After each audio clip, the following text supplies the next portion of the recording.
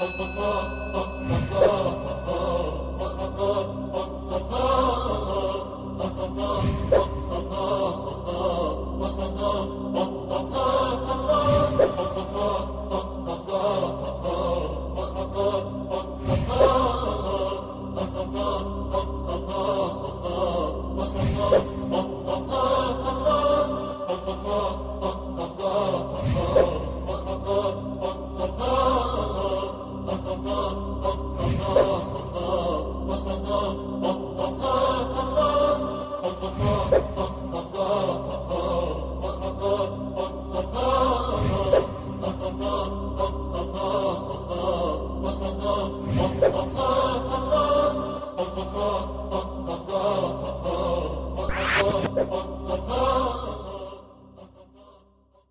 به نام خداوند بخشنده یکتا. همراهان خوب برنامه دریچه دانایی و شاگردای خوب سنف هفتم سلام. وقتتان بخیر. امیدوار هستم که حال یک یک شما عزیزان خوب باشه و درس گذشته ایتان را به خوبی یاد گرفته باشید. با یازدهمین جلسه از مضمون بیولوژی سنف هفتم مهمان خانه های شما هستیم. امیدوار هستیم که با آمادگی کامل پای ویدیوهای ما نشسته باشید و آمادگی از زیر داشته باشید که در یک روز جدید یک درس جدید ما و شما یاد بگیریم. خب شاگردای خوب سنف هفت. تمرکز و حواس خودتان جمع کنین تا با یکدیگه در ابتدا یک ارزیابی داشته باشیم از درس گذشته سوال اول نباتات چگونه طبقه بندی می شوند؟ یک تقسیم بندی از نباتات جلسات گذشته من برای شما گفتم که نباتات به دو گروه بزرگ وعایی و غیر وعایی تقسیم میشه و نباتات وعایی هم به شاخه های خورتر تقسیم میشه سوال دوم انواع نباتات تخمدار را نام ببرید همونطور که به یاد دارید در جلسه گذشته گفتیم نباتات تخمدار یا نباتات داندار به دو گروه بزرگ ظاهر البذر و مخفی البذر تقسیم بندی میشه. سوال سوم نباتات وعایی به چند دسته تقسیم می‌شوند. خب نباتات وعایی به دو گروه داندار و بدون دانه تقسیم میشه. سوال چهارم به چه نباتاتی ظاهر البذر گفته میشه؟ ای جواب از این سوال به خاطر دارید آفرین به شاگردای خوبی که درس گذشته را با دقت خواندن نباتاتی را ما ظاهر البذر میگیم که دانه آنها در داخل میوه پنهان نشده یا به عبارت به اونا ظاهر البذر یا بازدانگان گفته میشه این نباتات میوه نداره به همین خاطر دانه آنها درون میوه پنهان نمیشه.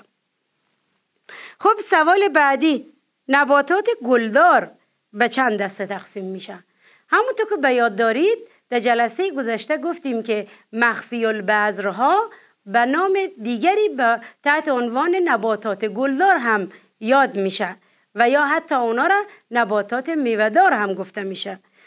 حالا در این سوال از ما پرسیدن نباتات گلدار به چند دسته تقسیم میشه. خب به دو گروه تک مشیمه و دو مشیمه. سوال بعدی تفاوت میان تک مشیمه و دو مشیمه در چیست؟ ما و شما در جلسه گذشته یک تفاوت بزرگ و اساسی از این نباتات با یکدیگر یاد گرفتیم و او تفاوت در تعداد پله های دانه است.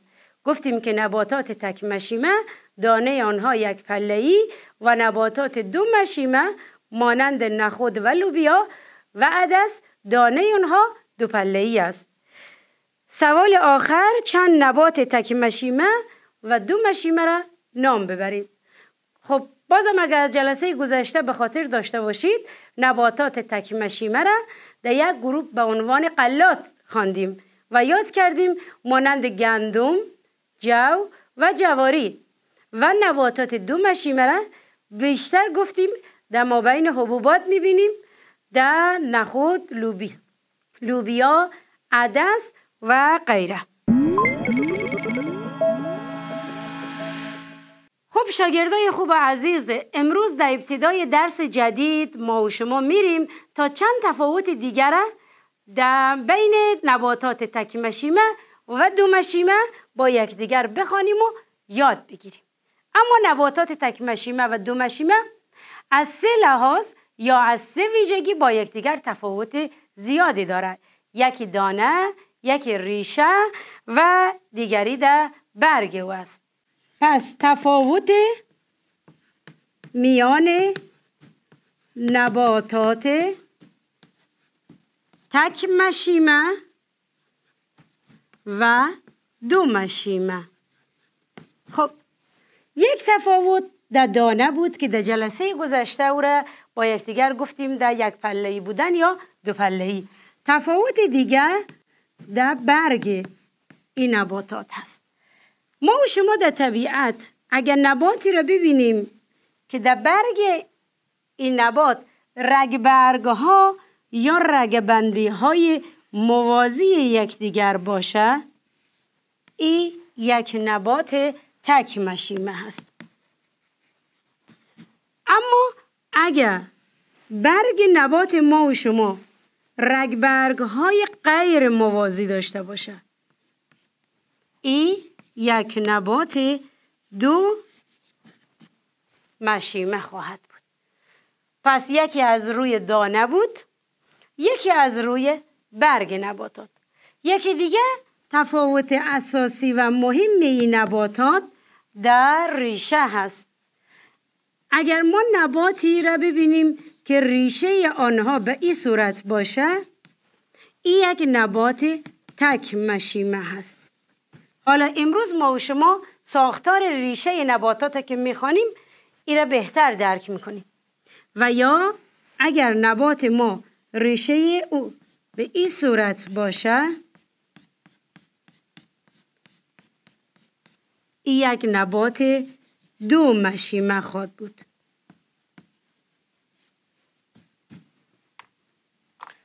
شاید در ابتدای امروز شما زیاد متوجه تفاوت در بین ریشه های نباتات تکیمشیمه و دومشیمه نشید. اما چند اسلایدی را که با یکدیگر پیش بریم و ساختار ریشه را بخوانیم می‌بینیم که تفاوتی بین هر دو ریشه وجود داره خب تفاوت های دیگه هم بین از این نباتات وجود داره که من اونا رو در یک جدولی برای شما شاگردای خوب ترتیب دادم که به صورت مقایسه ای با یکدیگر اونا رو مرور می‌کنیم بررسی می‌کنیم و یاد می‌گیریم. خب شاگردای خوب ما دقت کنید این یک جدولی هست که نباتات تکمشیمه و دومشیمه رو با یکدیگر مقایسه می‌کنه اولین تفاوت گفتیم در دانه از اونا هست دانه نباتات تکمشیمه و دانه نباتات دومشیمه خب ریشه هست که نباتات تکمشیمه ریشه اونا رو شما می‌بینین و نباتات دومشیمه یا دو پله یا در بعضی کتابا پله را لپه هم میگن. شما هر کدام از این کلمات و اصطلاحات خواندید همه به یک معنا هست. در قسمت جدول پایین نبات دو مشیمه را نشان میده که ریشه اونا یک قسمت وسط یا مابین زخیمی داره و یک تارای مویک بسیار نازکی داره خب دیگری در ساختار انساج انتقالی هسته شما در نباتات تکمشیمه می‌بینید که انساج انتقالی زایلم و فلویم به صورت نامنظم پراکنده شده. اما در جدول پایین در این قسمت می‌بینین که نباتات دو مشیمه انساج انتقالی اونا به صورت یک دایره متحد المرکز یعنی یک دایره فرضی قرار گرفته. اما در تصویر بالا می‌بینین که نه این پراکنده است و هیچ نظم مشخصی نداره. پس ما اگه دسترسی به ریشه یک نبات یا برگ یا دانه این نبات نداشتیم از روی ساقه نبات یا از روی انساج انتقالی و نحوه قرار گرفتن زایلم و فلویم اون نبات هم می‌تونیم تشخیص بدیم که تک مشیمه است یا دو, مشیمه. خب برگ که من برای شما پای تخته تشریح کردم. در بالای جدول در این قسمت نبات تک مشیمه است. برگ می‌بینیم که دارای رگ برگ های موازی هست. اما در قسمت پایین جدول رگ برگ ها غیر موازی هسته اینا نبات دو مشیمه هم. تفاوت دیگه در گل نبات هست. نباتات تک مشیمه گل های آنها یعنی گل برگ هایشان یا سه یا مذربی از سه مثلا سه عدد گلبرگ داره 6 عدد گلبرگ داره 9 عدد گلبرگ داره. اما در قسمت پایین جدول می‌بینید که در نباتات دو مشیمه تعداد گلبرگ ها بیشتره. یعنی یا پنج یا مذربی از پنج مثلا پنج ده پانزده یا بیست گلبرگ در گلای از این نباتات می‌بینیم. این چند ویژگی هسته که در مابین گیاهان یا نباتات تک مشیمه و دو مشیمه به ما کمک می‌کنه تا اونا را تشخیص بدیم. خب شاگردای خوب برمیگردیم به ساختار نباتات تخمدار. ما و شما تعریف نباتات تخمدار خواندیم ویژگی ها و نکات کلی را. حالا ما می‌خوایم ساختمان نباتات بخوانیم که ببینیم از چی ساختاری تشکیل شده از چی بخشهایی درست شده؟ هر کدام از این بخش ها در نبات چی وظایفی را به عهده داره خب تمام نباتات تخمدار سه بخش مشترک داره. ریشه، ساقه و برگ هسته خب تمام نباتاتی که در قسمت نباتات تخمدار یاد میشه باید این سه بخش داشته باشه. ریشه، ساقه و برگ. خب ما شما ریشه را می‌شناسیم ساقه هم همچنین و برگ را. این قسمت در تمام نبات ها مشترک هست اما نوع اونها فرق داره. یک نبات برگ سوزنی داره مانند درخت کاج. یک نبات دیگه برگ های پهن و نازکی داره مانند برگ درخت انگور یا درخت توت یا درخت های زردالو و شفتالو اما ویژگی کلی از اونها یه هسته که این سه بخشه باید داشته باشن اما ریشه دانه به دانه این سه قسمت با یکدیگر می‌خوانیم انواعش می‌شناسیم و وظایفش هم یاد می‌گیریم. ما و شما می‌دانیم که ریشه یک نبات او بخشی هست که در داخل خاک قرار می‌گیره. البته انشالله در بیولوژی صنف 11 و 12 می‌خوانین که بعضی از نباتات ریشه های نابجار هم دارن. یعنی علاوه بر که ریشه آنها در داخل خاک فرو میره از قسمت های از ساقه هم ما ریشه هایی را به صورت ریشه ها به نام ریشه های هوایی داریم. اما امسال شما فقط همین ریشه های اصلی و اساسی رو یاد می‌گیرید. پس اون قسمتی از نبات که در خاک فرو میره ریشه نام داره. اما وظایف ریشه چی هست؟ ما و شما می‌دانیم که بزرگترین و مهمترین وظیفه ریشه نباتات ای هست که آب و مینرال ها را از خاک جذب می‌کنه و به ساقه انتقال میده ما شما می‌دانیم که اگه یک نباتی ریشه از او کنده شوه یا ریشهش قطع شوه یا خشک شوه اون نبات ما و شما دیگه رشد نخواهد کرد. پس اولین قسمت ارتباطی بین یک نبات با محیط بیرونش ریشه هست. خب ریشه علاوه بر جذب و انتقال مواد یک وظیفه بسیار مهم دیگه داره به نام اینکه نبات استوار نگه میداره بر روی زمین. خب شما شاید در نزدیک بهار که میشه باغبانا را دیده باشید که نهال می‌کنن.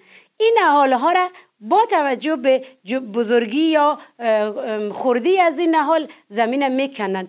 هرچی نباتی قد بلندتر باشه باید ریشه از او بیشتر در داخل خاک فرو بره. به خاطر از که او ساقه روی زمین صاف و استوار قرار بگیره.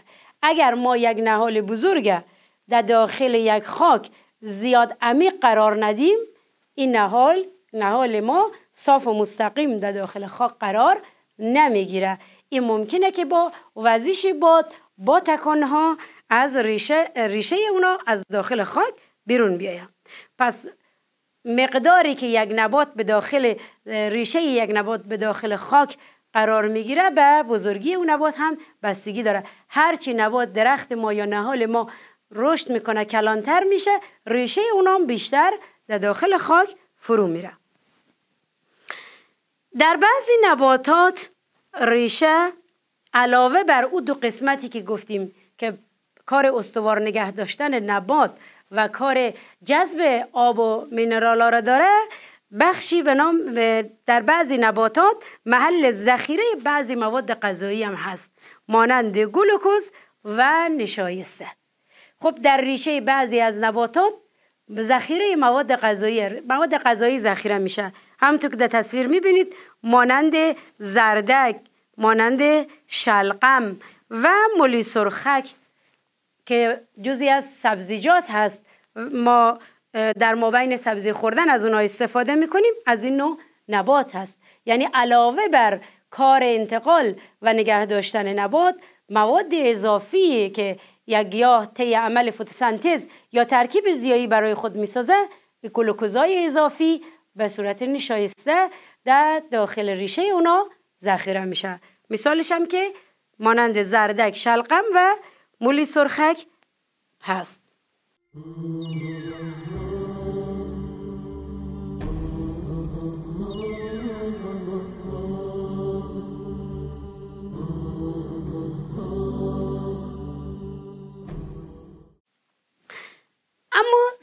های ریشه ریشه شامل چه بخش هایی هست؟ خب یک ریشه شامل دو بخش اساسی و مهم هست. یک ریشه اصلی و یک ریشه فرعی. اما این ریشه اصلی و ریشه فرعی چگونه به وجود میاد؟ هر دو همزمانه یا نه؟ اول یکی بعد دیگری؟ باز ما الان برای شما ای را به صورت واضح تر توضیح میدیم. زمانی که ما دانه یک نبات در داخل خاک قرار میدیم و اون نبات ما و شما رشد می‌کنه و ریشه زایی به عبارت اتفاق میفته ببینیم که کدام ریشه ریشه اصلی هست و کدام ریشه ریشه فرعی. خب سیستم ریشه.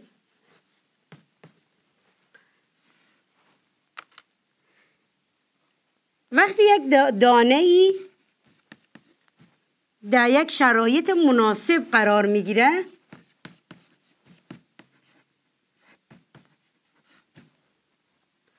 مثلا در زیر خاک. خاک مرتوب شروع به رشد می‌کنه.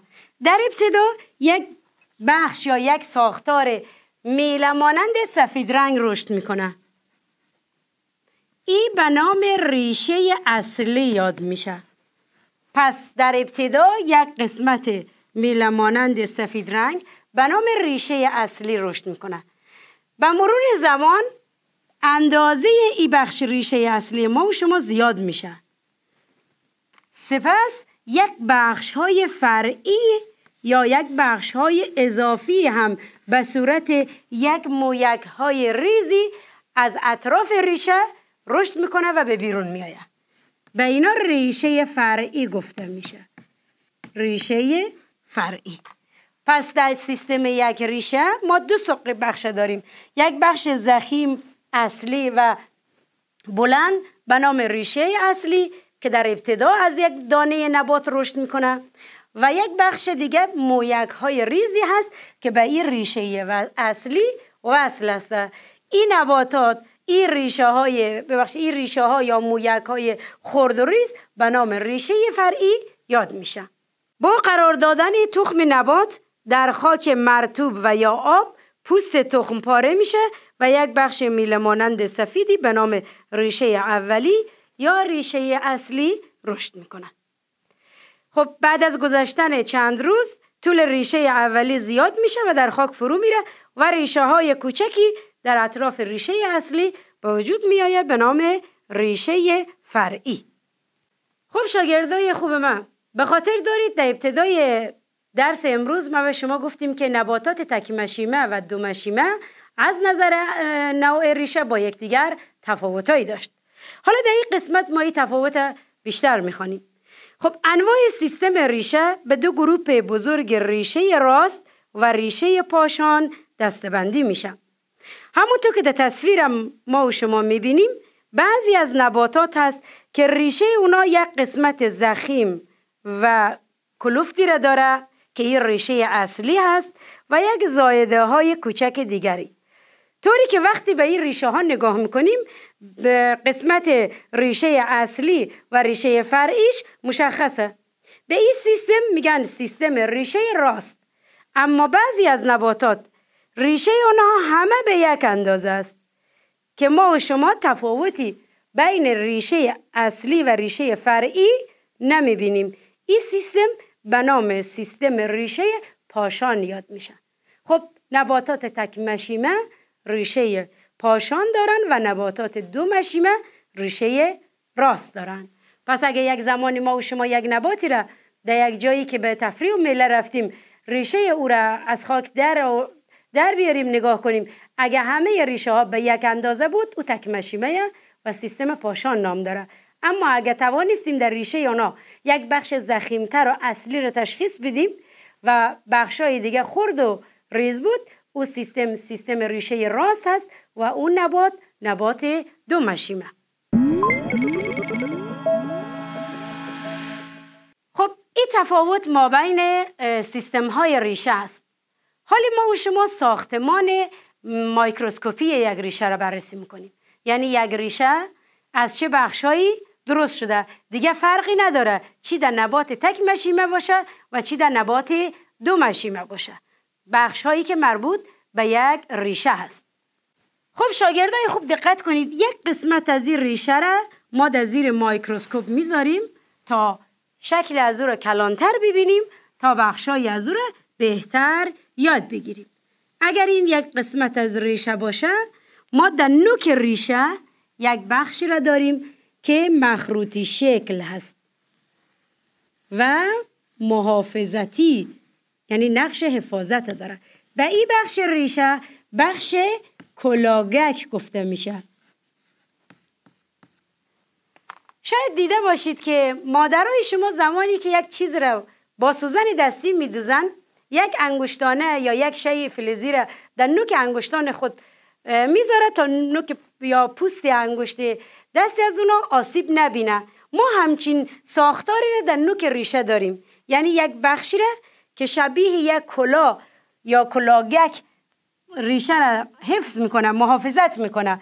و این کار بسیار مهمی که کلاگک داره اینه که زمانی که ریشه رشد می‌کنه و طول ریشه زیاد میشه و ریشه بزرگ میشه به وسیله از این کلاگک در مابین خاک و سنگا فرو میره. به عبارت کلاگک راه ریشه را باز می‌کنه. خب ریشه بخش های دیگه هم داره که یک یک ما و شما اونا را می‌خوانیم. اما بریم ببینیم این وظایف دیگه ای هم به عهده داره یا نداره. خب بخش اول کلاگک ریشه هست. رنگی زرد یا نسواری داره که به شکل مخروط است و از حجرات نمویی ریشه محافظت می‌کنه. پس ما و شما تصور رو می‌تونیم بکنیم که قسمت نموی بالاتر از کلاگک است که کلاگک راه باز می‌کنه تا او حجرات نموی که در پشت کلاگک ریشه قرار داره در زمان برخورد با ذرات خاک و سنگا آسیب نبینه. اما قسمت دوم قسمت نمویی هست در یک ریشه. از حجرات نمویی در حال رشد که بالاتر از کلاگک از ساخته شده که دائما در حال تقسیم حجروی هستند. شاگردای خوبی را به خاطر بسپارید. در بعضی از کتاب های علمی همه حجرات نمویی به نام حجرات مرستمی یاد میشه. که این حجرات مرستمی حجراتی هستند که دائما در حال تقسیم هست. خب حالا این حجرات نموی در کجا قرار داره؟ این قسمت که بخش کلاگک ریشه هست درست بالاتر از این. اینجا حجرات نموی قرار داره. یعنی این کلاگک مانند یک سپری بر روی حجرات نمویی قرار می‌گیره. خب بخش دیگر یعنی بالاتر از حجرات نمویی قسمت تمایز حجرات هست. خب همونجور که از اسمش مشخصه یک بخشی هست که تمایز پیدا می‌کنه. یعنی چی تمایز؟ یعنی یک ویژگی جدید پیدا می‌کنه. یک فرق دیگری هم خواهد داشت. ای چی چه فرقی هست؟ در این بخش انساج زایلم و فلویم ما داریم. دارای مویگه هایی است که آب و مواد مدنی را جذب می‌کنه. پس این تمایز به این معناست که علاوه بر, حفا... علاوه بر ازی که اینا رشد می‌کنه و باعث رشد طولی ریشه میشه که توسط حجرات نمویی صورت می‌گیره حجرات بالاتری هم هست که اونا یک بخش های مویک مانندی که در سیستم ریشه گفتیم ریشه فرعی یاد میشه. تاره های ریزی هم از خود به بیرون رشد میده از خودشان به بیرون تکثیر پیدا می‌کنه که باعث جذب آب و مواد معدنی میشه. حالا ما و شما در پای تخته ای دو قسمت نشان میدیم. حجرات نموی در پشت کلاگک قرار داره و بخش تمایز یافته به این بالاتر از هر سه قسمت. اینجا بخش تمایز یافته است؟ که ما یک مویک های ریزی را می‌بینیم.